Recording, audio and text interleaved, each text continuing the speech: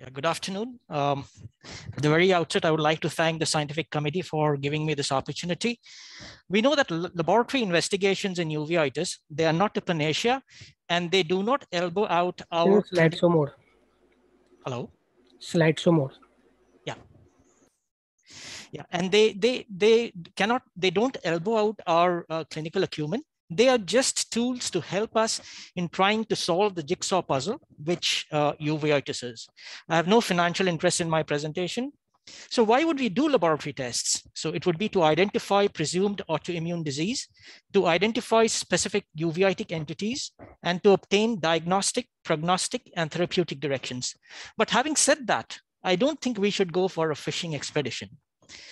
So there could be two approaches, a completely empirical approach or a totally lab dependent approach. But I think the most practical approach is a tailored lab investigation on a case to case basis.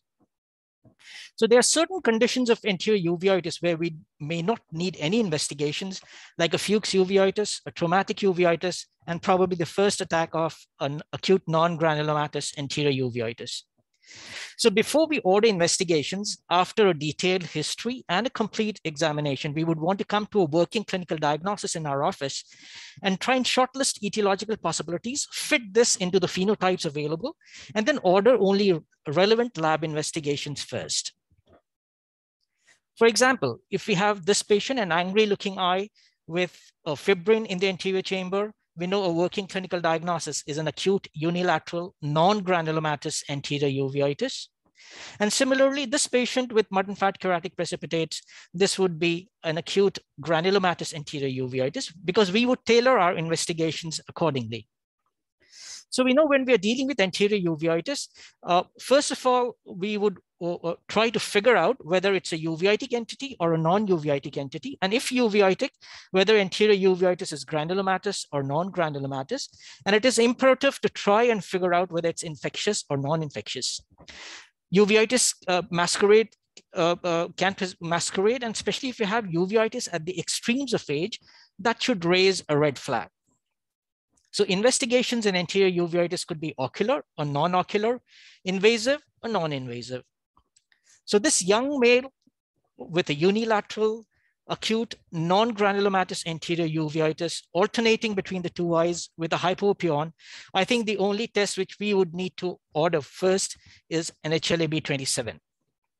On the other hand, another hypopyon, because anterior uveitis could be an indicator of something ominous happening in the back part of the eye. So after detailed examination, if there is a posterior segment involvement, like in this patient, probably we would like to rule out Behçet's and order for an HLA-B51. If we have a patient with these nodules, the Koeppe's, the Busacca's nodules, and the isolated uh, nodules like this, we know that we are dealing with a granulomatous anterior uveitis, and we would want to rule out the common granulomatous etiologies of tuberculosis and sarcoidosis. So a tuberculin skin test could be positive in 30 to 69% of healthy Indians, or it could be negative or weakly positive in 33% of TB patients. The other test available is a quantiferon TB gold test, which is sensitive in identifying latent TB.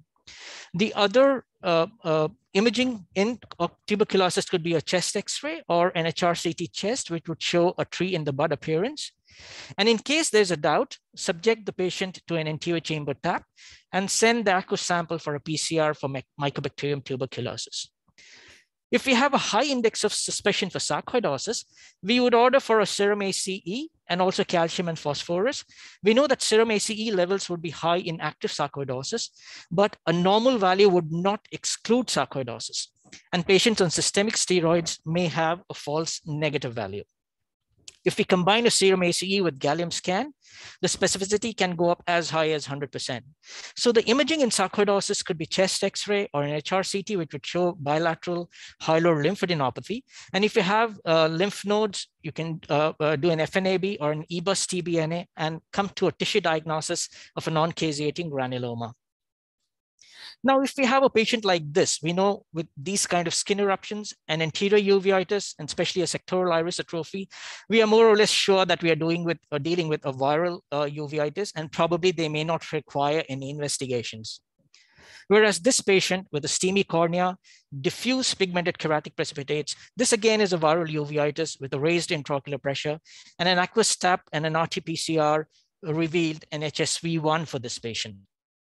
Now, if we have a hypopyon like this with an intraocular lens and a history of a recent cataract surgery, obviously we would not be uh, investigating this patient for any uveitic etiology, but we would rule, uh, like to rule out an acute postoperative endophthalmitis. Another pseudophakic patient was being treated with steroids for chronic postoperative uveitis, not responding. So this is where investigations would really help us. So this, an AC tap from this patient revealed a, a P. acnes. So this was a low-grade endophthalmitis. Now, syphilis can cause any kind of uveitis. It's a great mimicker. So we would like to do one uh, a, a non-treponemal test like a VDRL or RPR and another treponemal test like a TPHA or FTA-ABS. Diagnostic dilemmas are not very uncommon in uveitis, and these are areas where lab investigations would help us in trying to get to the cause. This was a 32-year-old man with hypopyon and was not responding to topical and systemic steroids, and an AC tap revealed a microfilaria. Another eight-year-old girl with a persistent hypopyon uveitis, not responding to topical and systemic steroids, and this turned out to be a retinoblastoma. A 55-year-old male with bilateral hypopyon, his peripheral blood count showed a CML. So just to wrap up, to conclude that laboratory investigations not only help us in the diagnosis, but we may have to investigate these patients with their routine bloods, their liver and renal profile, because we might need to initiate this patient on medications which have potential systemic toxicity. So if we have a patient like this who has an acute non-granulomatous anterior uveitis, what tests would we order? Probably an ESR, an HLA-B27, and an ANA. On the other hand, a granulomatous anterior uveitis, we would want to uh, do ESR, a Mantoux, a quantiferon TB gold test, serum ACE, and image them with either a chest X-ray or an HRCT.